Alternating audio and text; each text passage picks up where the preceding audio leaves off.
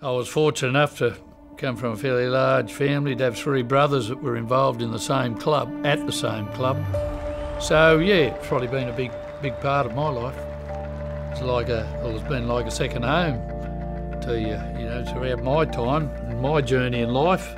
You know, it was a place of mateship, a place where you could express yourself on the field and uh, play something that you really enjoyed, and that was footy.